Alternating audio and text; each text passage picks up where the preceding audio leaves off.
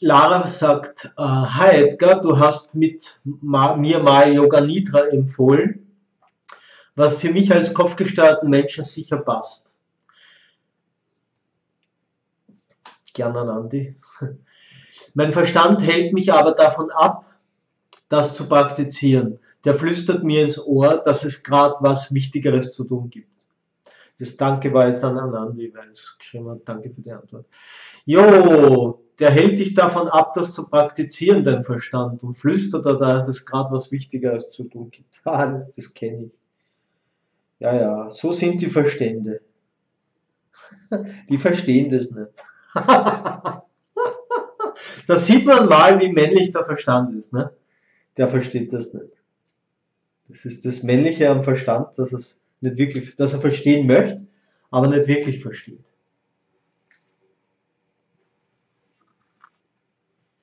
Der denkt zu businessorientiert. Was habe ich denn jetzt davon? Und das ist was Wichtiges zu tun. Das ist immer was Wichtiges zu tun. Immer, immer, immer. Ja. Immer, immer, immer. Was Wichtiges.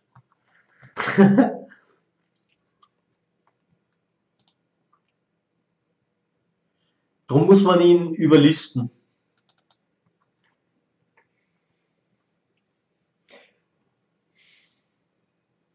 Der Körper macht es üblicherweise so,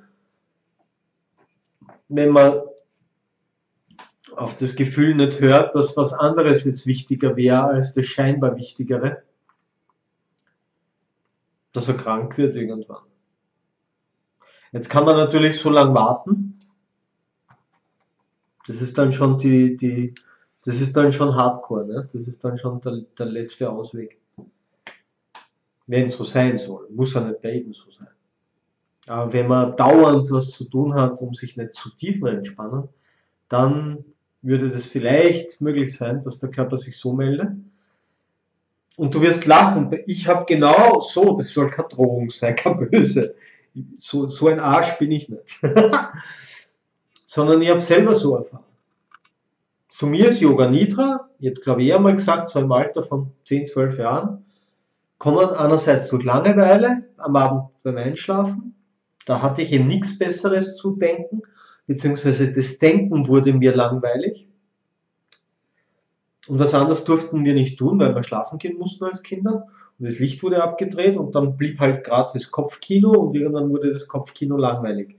Aber es waren dann auch Krankheiten, die mich dann, was weiß ich, kleine grippale Infekte, wo man im Bett liegen bleibt, ein paar Tage verkühlt ist wo dann auch langweilig ist und wo man dann nichts anders machen kann.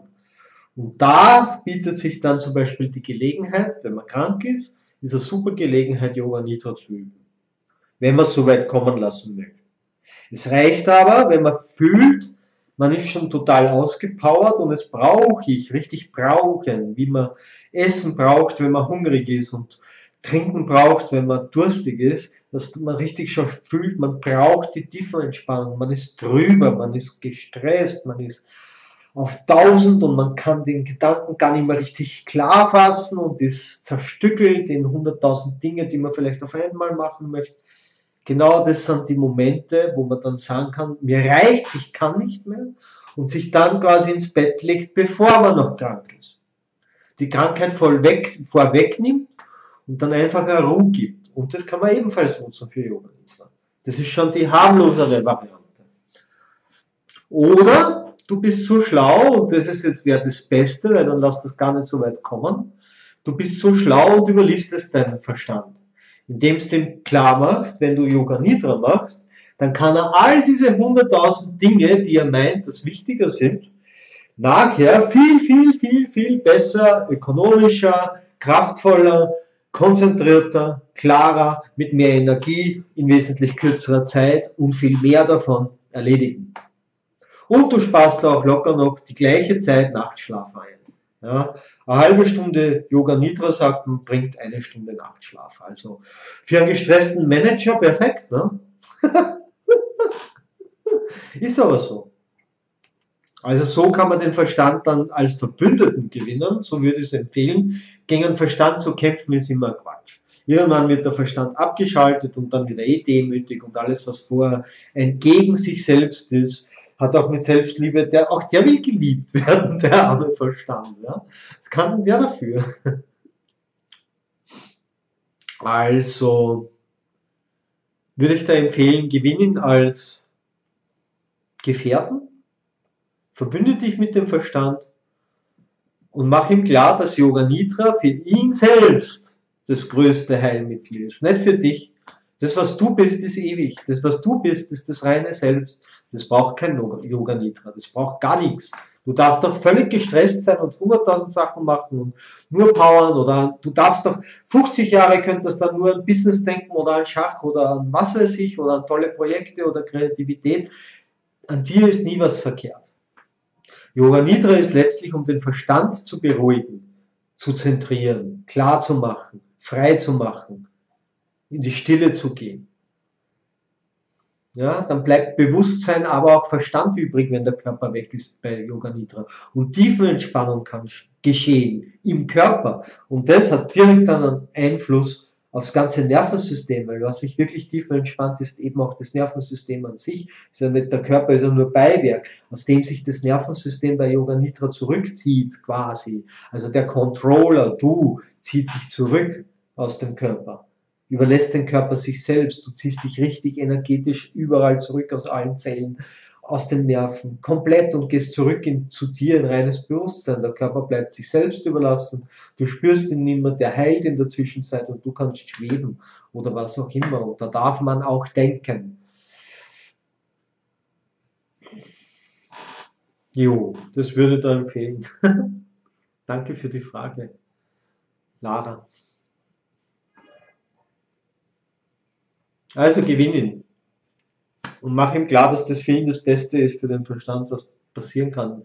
Eine Yoga Nidra Session geht nachher alles viel schneller und einfacher. Alles, was man zu erledigen hat. Und man kann auch besser unterscheiden, was wichtig ist und was unwichtig ist. Man muss sich auch gönnen zu vergessen. Das ist übrigens auch so eine Sache, das möchte ich nur anhängen. In unserem heutigen technologisierten Zeitalter haben wir so viele Möglichkeiten uns etwas zu merken, das Merken auszulagern, auf eine Festplatte quasi oder in die Cloud. Ja. Entweder in einer Datei schreiben, in Notizen, in Outlook, in Word, in Evernote, was weiß ich, in Wunderlist und keine Ahnung, was es alles gibt oder wie ihr das alles macht. Oder wie vor hunderten Jahren oder seit hunderten Jahren schreibt man sich sowas auf einen Zettel. Ne? Und das ist das Problem. Dadurch vergisst man nichts.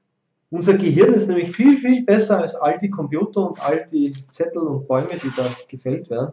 Wir haben Vergessen eingebaut. Und Vergessen ist eine natürliche Variante, ein natürliches Sieb, wichtige von unwichtigen Dingen zu trennen. Ja. Wenn man nicht total komplett gerade overstressed ist, das wirklich passiert, das kann schon noch passieren, aber vielleicht kennt ihr das, dass viele Sachen sich von selbst erledigen. Entweder erledigen sie sich von selbst oder man hat darauf vergessen und es war nicht wichtig. Oder man merkt, dass die wirklich wichtigen Dinge, die einem immer einfallen, wenn es wirklich wichtig sind, da doch wieder kommen. Der Computer im Gehirn, das Gehirn arbeitet perfekt. Völlig perfekt. Besser als jeder andere. In der EDV, also in der äh, äh, Informatik, arbeitet man jetzt erst an Konzepten, wie man den Computern beibringen kann, dass sie etwas vergessen. Dass die Erinnerung unschärfer wird. So macht es der Kopf. Ja? Es wird unschärfer. Es ist nicht plötzlich weg, es wird einfach, einfach nur immer mehr unschärfer. Ja? Und das will man auch in der Kybernetik machen, bei künstlicher Intelligenz, dass Vergessen einbaut ist. Man merkt schon jetzt im Web, im sozialen Netz, dass alles gespeichert ist. Alles, was man jemals wo geschrieben hat, ist ein Wahnsinn. Ja?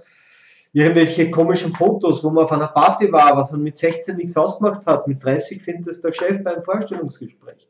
Okay, danke, der Nächste. Ich meine, das ist natürlich auch eine schlimme Welt, die so funktioniert. Aber ich will nur zeigen, ja, dass es bei Computer wichtig ist, das Vergessen. Und wir haben das schon gratis mitbekommen in dem Computer da drin. Das Vergessen ist eingebaut. Und es funktioniert perfekt. Ja. Vergessen können. Da kann, das entstresst ebenfalls. Ich bin auch so ein Kandidat, darum sage ich das alles. Das ist nicht nur großes Gelaber, ja, wie könnte man es machen. Das sind Dinge, die auch mich beschäftigen und auch immer wieder beschäftigt haben. Ja. Ich habe es dann irgendwann bemerkt, wo irgendwann To-Do-Listen gehabt habe, die ich zwar reingeschrieben habe, um das aus dem Kopf zu kriegen, wenn ich mir was merken wollte, aber ich habe nicht mehr reingeschaut. Das war einfach dann nur mehr ein ewiger Mistkübel. ist immer länger geworden die Liste. Ich habe es vielleicht alle zwei Jahre mal gelesen, was drinnen steht, damit ich dann sage, sehe, was habe ich eigentlich vergessen? Ich habe nichts vergessen. Ich habe nichts Wichtiges vergessen. Alles, was nicht getan wurde, hat es nachher sogar einen Grund gegeben, warum es besser war, es gar nicht erst zu tun. Den kennt man natürlich erst zwei Jahre später, weil es obsolet war, weil es, eher blöde Idee war. Ja? Das kann man dann überprüfen, ja? wenn man dann nachher das durchschaut. Aber die wirklich wichtigen Sachen sind geschehen. Und wenn man sich nicht selber erinnert, kommt der andere und erinnert einen, weil wir sind, das Wissen ist ausgelagert. Du bist nicht allein. Du hast nicht nur dieses eine Gehirn. Ja? Da kommen andere auch noch. Ich weiß, ich bin jetzt schon lange nicht mehr bei der Lara, Doris, nee, Lara, Lara war das. Bei der Lara mit der Frage, aber nur so als Einwand. Das ist, wollte das mal sagen. Auch andere Gehirne spielen mit, wir sind alle verbunden und dann kommt jemand, wenn es wirklich aus göttlicher Sicht wichtig ist und in deinem Gehirn anscheinend ein Empfangsmodul klemmt und Gott da nicht durchkommt mit Hallo, Erinnerung, ja, dann kommt wer im Außen und hey du, das, ja, das passiert, das passiert. Wenn es wirklich wichtig ist. Du kannst nichts tun, was du nicht tun sollst. Und du kannst nichts nicht tun, was du tun sollst. Das ist so. Ja. Man könnte Schopenhauer ein, ein, Zitat, was da gibt, der Mensch kann zwar tun, was er will, aber nicht wollen, was er will. Das könnte man auch erweitern. Er kann nicht nicht wollen, was es will. Er kann nicht nicht tun, was es will. Ja? So könnte man es sehen.